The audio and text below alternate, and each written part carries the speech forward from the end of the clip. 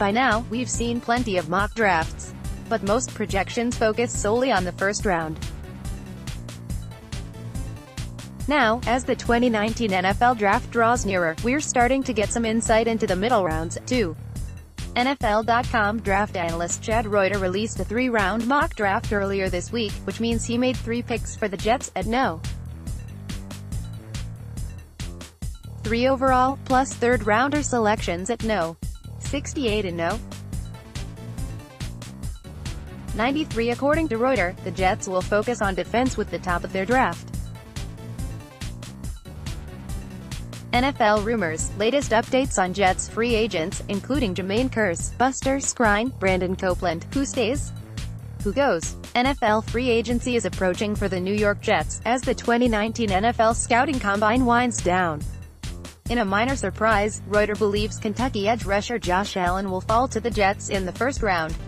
Most projections have Allen going no. 2 to the 49ers, with Alabama defensive tackle Quinnen Williams then falling to the Jets. But Reuter has that duo being selected in reverse order. That'd almost certainly be great news for the Jets, if it happens, given their distinct need for pass rushers.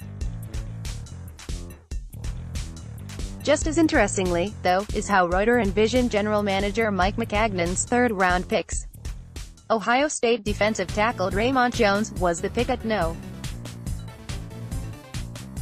68, making it back-to-back -back defensive selections to start the draft, despite the Jets' need for both offensive line help and aid at the offensive skill positions.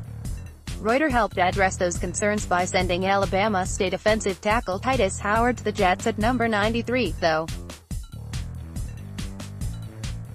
The Jets do need to add a defensive tackle, so the Jones selection is understandable. Maccagnan chose not to pick up Mike Pennel's two-year team option and Steve McLendon's contract is expiring. The offensive tackle selection is a bit curious, however, given the Jets' current openings on the offensive line are at left guard and center. That said, the Jets do need to add up at tackle, too, with much of last year's shoddy offensive line hitting free agency and left tackle Kelvin Beachum entering his age 30 season. Matt Stypulkoski may be reached at mstypulkoski at advancemedia.com. Follow him on Twitter at m underscore. Find NJ.com Jets on Facebook.